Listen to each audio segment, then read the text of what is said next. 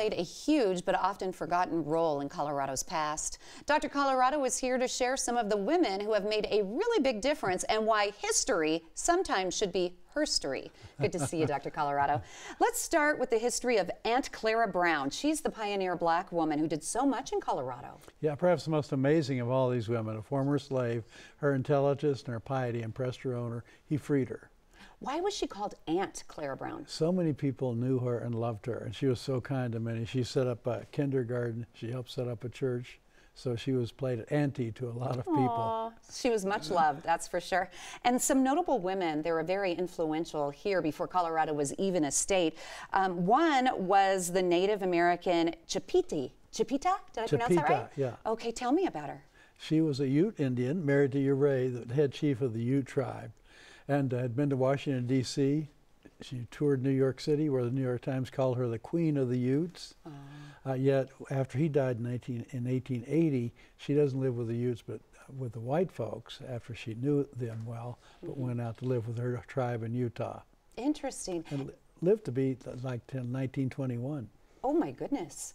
And talk about what her translation of her name means in the uh, Ute language, Chipeta. White singing bird. Oh. We should call you that. beautiful, white singing bird. Yeah. How about white um, not singing bird? Non a little bird. oh, bad. The, uh, we're all familiar with the Mother um, Cabrini Shrine, which is absolutely beautiful. It's up I-70 near Golden, right? Right. Yeah, it's gorgeous. But what made Mother Cabrini so influential here in Colorado? Well, she's the first uh, American citizen to be can canonized a saint.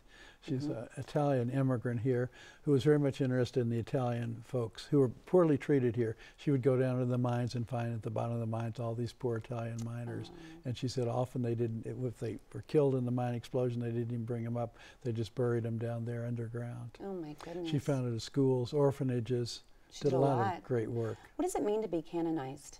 That you're declared a saint, officially a saint by the uh, Roman Catholic Church. And I heard recently that they're looking into canonize another Colorado woman, Julia Greeley.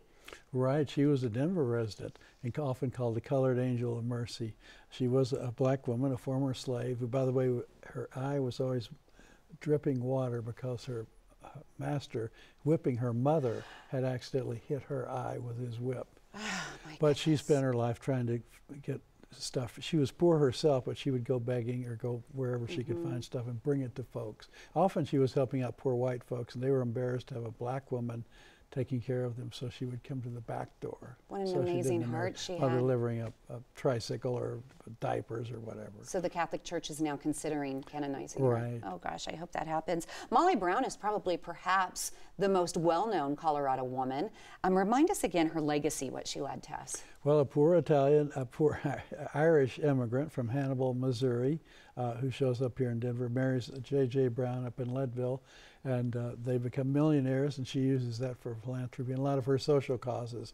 She ran for the Senate here in Colorado three different times. Oh, I didn't know that. And she helped out with the Ludlow Massacre, the, the tragedy down there was on the scene there. Also worked with Chief, uh, with uh, Judge Ben Lindsey to set up the juvenile court system here, but probably best known for her Titanic Yes, heroism. of course. Yes. And another woman, we may not know her, you know, by name, but we should because she was very influential. Talk about Dr. Florence Sabin. Yeah, it's too bad people don't know the name uh, Florence Sabin. Yeah. She was the first Coloradan to be put in the Congress. You know, back in Washington, each state has two of their heroes, and she's the very first one there.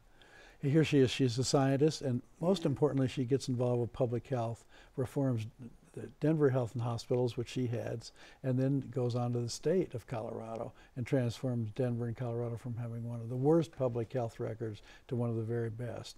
Our great Denver uh, hospital, Denver Health Today, is her legacy.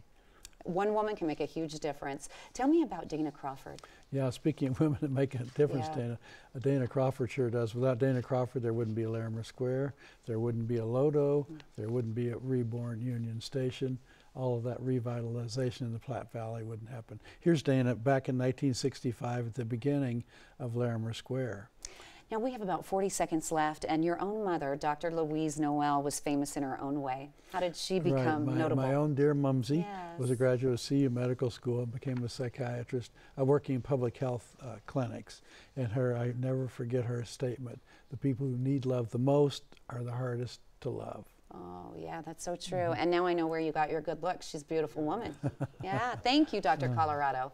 Have so much knowledge. It's just amazing to listen and learn from you. You can join Dr. Colorado Wednesday, August 2nd at 6:30 p.m. at the Denver Press Club to celebrate the club's 150th birthday. Dr. Colorado will be signing his books that include the landmark Denver Press Club building. U.S. Representative Diana DeGette and Mayor Michael Hancock will be there. It's a free party. You should be there too. So make Make sure you join the fun.